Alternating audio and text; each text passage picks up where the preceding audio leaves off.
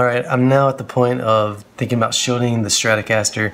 Now I've done a fairly extensive video on shielding my Jazzmaster, so check that out if you will. I'm not going to probably go into as much detail, maybe I will, I don't know, but one thing that I was thinking about when I did Jazzmaster, I used super glue. So uh, somebody commented on that video and said, why the heck did you use super glue? Because you can't get good coverage and it dries too fast maybe and if you get on your fingers, it'll stick together and the fumes are harmful and all that stuff. Which, you know, those are valid arguments, but I'm more concerned whether or not it actually adheres. So the other thing I was thinking about is using a spray adhesive. Now this is 3M, you'll see that 45 on there, right there. Now, this is recommended for like hobby projects, gluing like paper to other paper or fabrics, things like that, maybe carpet, I don't know. Actually, 3M has on their website or somewhere, they have a chart about what adhesives to use with certain materials. And for metal and plastic, they don't recommend this. So those those two pieces of material are not mentioned as you know recommended materials for this stuff. That's not to say it won't work for the purposes of something like this because you don't really need that much. You know, it's not really going to go anywhere once you've got it installed on the guitar, but it's just not something that you don't really have, want to have to worry about either. So what I thought about doing is just doing a, like, like a test piece. I've got some just aluminum foil here. So I'm gonna do, you know, like some spray maybe up here and some super glue down here and just see which one kind of works best. You can see, you know, this, whatever they used on this, this is a Fender, as far as I remember, this is a Fender pickguard. I think it was on my 60th anniversary Mexican Strat that got stolen, but whatever they used held up from soaking it in coffee. Yeah, you can see the discoloration where the coffee went and the aluminum foil kind of protected it. So whatever they used survived pretty well, but I'm just gonna try both of these out and just kind of see what works best. So let's do it. Hopefully this spray doesn't get everywhere.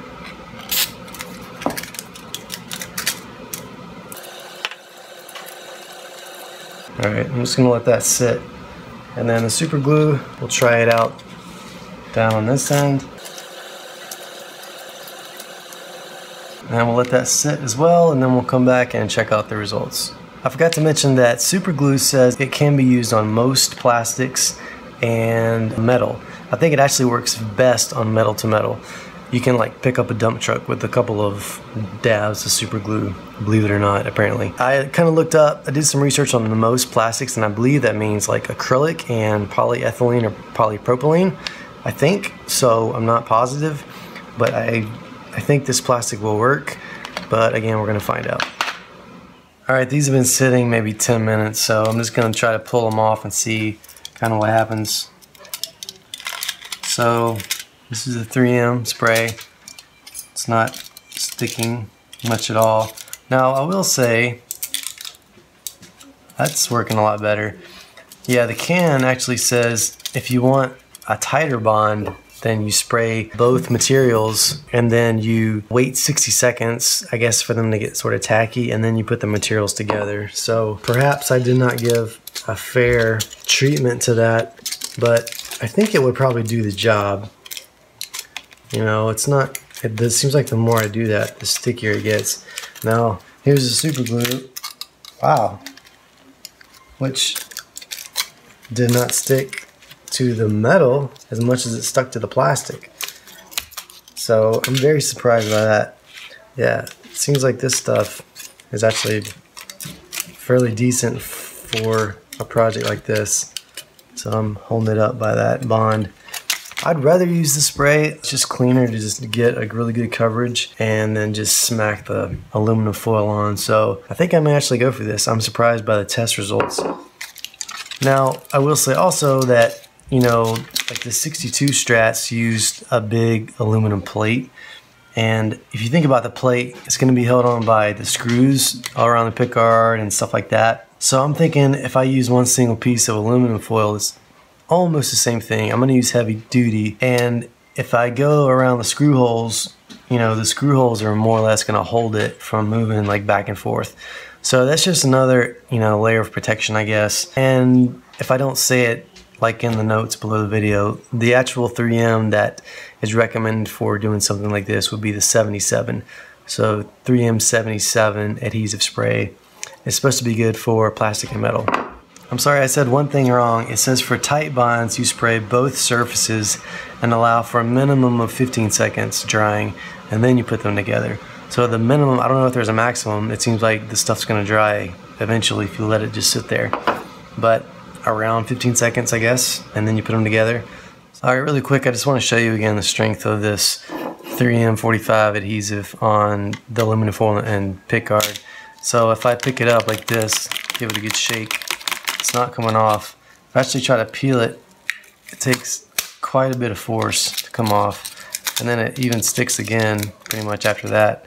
Now I've done that a few times, so I wouldn't I wouldn't say it's at its strongest right now, but I think that would really suffice for this kind of project.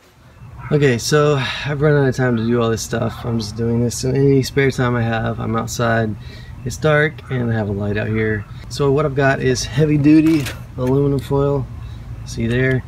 And I, I scuffed up my pick guard on the back and I'm going to spray both sides. I'm going to wait maybe 30 seconds and then I'm going to put the pick guard on top of the aluminum foil.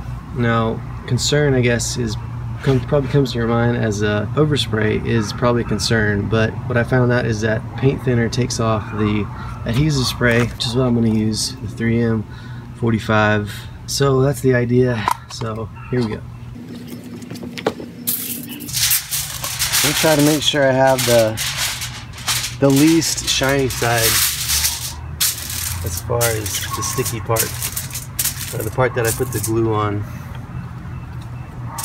And hopefully I can get it as you know nice and thin or spread out as possible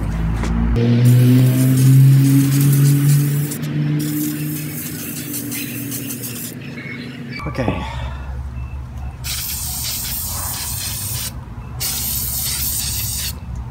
So like I said, I'm just gonna let that sit for about 30 seconds and then we will put them together. Okay, so it's been about 30 seconds. Now I'm gonna put them together.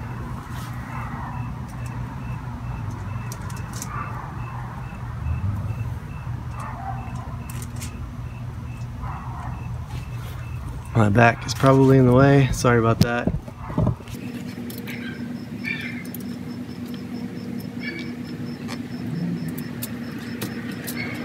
So, yeah, it should be pretty well and good. Again, I will cut out the, the excess and I will uh, clean up any residue with paint thinner.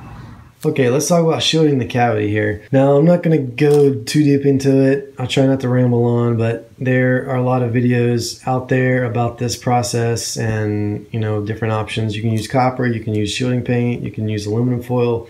Aluminum foil is pretty cheap and easy, so, and I think it does the job fairly well, does just fine. So that's what I'm going to use, and I attempted to use um, heavy duty aluminum foil. Actually, I tried the light duty too, or the normal duty for the cavity uh, I did use successfully the heavy duty for my pick guard, which you see there, but that's done. And so I tried to do it and in the cavity, and I thought I, I, I wasn't sure, but I thought I could attempt, and I did try.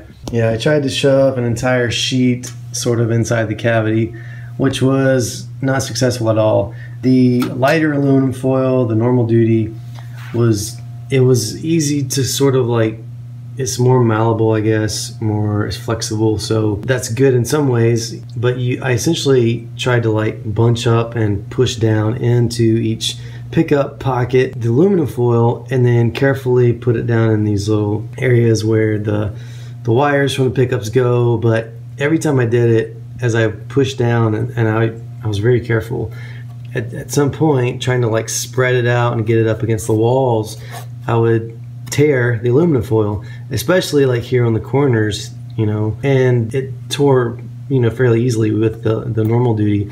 I thought this would work better, and it did for the most part. This is the heavy duty stuff. But again, I ran into just, it would just tear in random places. And so what that does is it ruins your Faraday cage because you've got these holes where you know radio signals can get in, interference or you know whatever, what have you. And so it, it basically nullifies your work. And you know I could go back over and tape an area as like a patch, but it's just sloppy and it was tedious and maybe it could be done if you had the right patience to do it, but I decided to go a different route. So that was my one method, and I did need this for the pickguard. So I was trying to avoid getting this and just use what I had, but I got this aluminum foil tape. I got it at a Harbor Freight for $7. But anyway, it's, you know, you can see how big it is, 50 yards by two inches, and it does not say anything on here about the adhesive being conductive.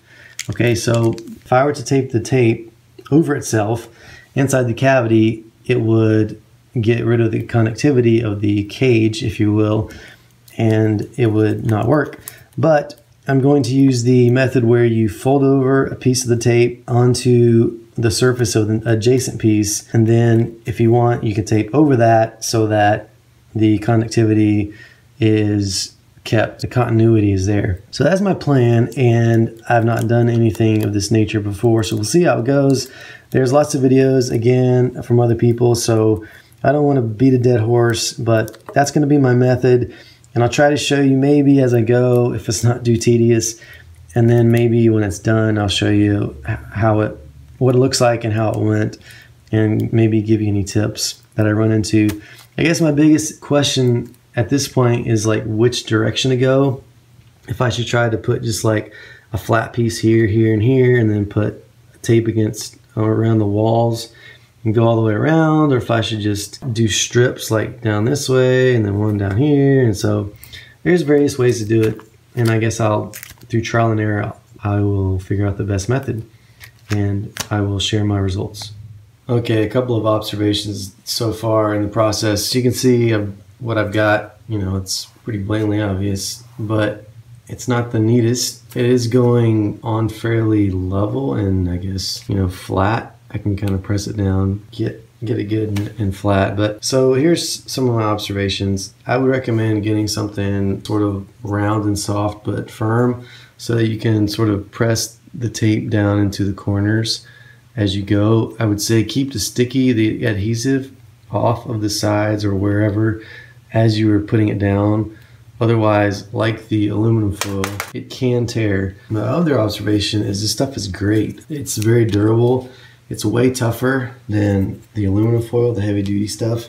I don't know that it's any thicker, but I think the adhesive on the back just makes it uh, not tear as easily. And so from that standpoint, it's great. So far, I really like it. Another thing is I haven't really found a great method yet. It's not like, you know, put a piece here, then put some here and it's it works well. It's just it's kind of just hit or miss. And then so one of the confusing things about this is when you fold a piece over to, you know, maintain continuity and then you put like a piece of tape over that. Well, then you have to remember because all of it kind of camouflages in against itself. And you have to remember when you're doing your continuity checks which pieces of you know, just tape that you put on top of the aluminum foil because that piece of tape on top will not necessarily read continuity, but underneath the pieces that are connected should be continuous, if that makes sense. So it's just hard to keep track, you know, like I said, once you start putting them on and you, you kind of like, you're trying to think like, oh, was that a piece that's going over top of here and this and that? I do believe there's a little bit of um, continuity with the adhesive. I'm, I get some sort of mixed signals. Like here's this piece on top here is just one continuous piece. So I don't even know if you can hear that, uh, but it reads pretty much zero. But some of the other ones that like I've taped over again, it's just I'm getting pretty much good readings everywhere. But, you know, like I said, it's it's a little bit confusing. So I'm going to keep going and maybe I'll stumble upon some great method of doing it. I think if possible, you know, to keep large sections as much as possible together. That way you don't confuse yourself versus just little pieces here and there. That would be, you know, one suggestion. Again, using something like this or even um, I don't know whatever you can find like this end right here uh, the, these pliers you know to just get down into the crevices and sort of press it down into the corners because like I said in one spot I did push it down too hard and it, it tore through but you know with this method you can just go back and tape over it with a piece of of itself and then, you know, keep that continuity. So again, I'll keep going and I'll update you as I go. I wanted to explain a little bit better what I was talking about earlier with the uh, the pieces of tape crossing over and trying to maintain continuity. So I've just got one piece attached to this piece of cardboard. I'm going to do another one and I'm going to fold over a section of it so that they can attach and connect to one another. I'll put it like that. All right, so like so. But the problem is this portion here is, you know, of course, doesn't have anything sticky on it. So there's the possibility that it could come up. I don't know, maybe not, but to me, there's always that possibility that there's no good solid connection there, right? So then you could lose your continuity. So now if I take another piece of tape and I go over these two to make sure that that portion is down well and it's not going to come up. So I'm going to sort of bridge the gap here with this tape. So what happens is inside the cavity of the guitar over here, these things start to really mesh together and they're mirror-like, right? So it's hard to tell if you got a lot of pieces of tape, which one's which. And so, and again, I'll try to be as clear as I can about what I'm trying to talk about here. But if I go and I put my uh, multimeter and you know see if there's continuity with, between on this one piece of solid tape of course there is here of course there is and then between the two there should be however between these two there's nothing between these two there's nothing so if down inside your guitar you happen to do this and you're like oh I don't have continuity well, you're really not worried about that piece because it's on top of your cage, right? It's inside the cage where these two is what you're concerned about. But, you know, again, so inside your guitar, if you lose track and you're trying to tell if you have continuity, you may actually have it when your readings say you're not, and it can be confusing. So, you know, in all this, I think, I think, and you know, I would really be able to tell you if I did this a lot, a number of times, and, and got a lot of experience doing it. And you can tell I've cleaned this up a little bit from what you saw previously. But I think what I would do is go around the vertical edges with, with as much tape as possible and then put a flat piece down on top of that folding the edges over. I found that if you fold the edge and shove it in the corner, or you know where the, the there's like a 90 degree, tends to want to stay there better you know, because it's kind of shoved. And this, you know, if it's like in a, in a corner in a 90, then the tape's holding it in the vertical and horizontal directions. And I hope I'm making myself clear. This could be totally confusing, but I would say if I had to do it over, maybe I would go around the vertical edges with the tape and, you know, that the vertical piece would touch the bottom. It would kind of curl down like an L shape a little bit and then put down a flat large piece over that. So that's my theory. That's what I think would work a little better. But I'll just go and show you. And I really hope this is this works out. But I should have continuity. And this thing isn't super loud, but um, I don't have any continuity between the output jack and the rest of the cavity right now, but the, the output jack plate will be touching, it will be grounded and it will be touching this part of the aluminum foil that's on top of the guitar, which is covered up, I checked. So this will be connected and grounded to the control plate or the uh, pickguard, all the controls inside the big cavity, and then therefore it will be touching this, so then this will be shielded. That makes sense. So, so this should have continuity amongst itself and it does but it's not connected so I'm not testing that portion yeah so this is a little dicey over here. Um, I feel like at some point I'm losing something here. So I'm gonna go back and check this. It's not good. Um, it's not what it's supposed to be doing. Oh, yeah, a little bit.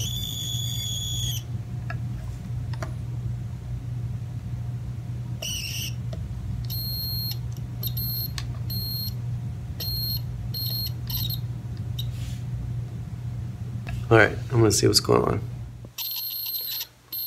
On the exact same spots I was just taking measurements and I wasn't getting any reading. I am now getting reading and I didn't really change anything at all. So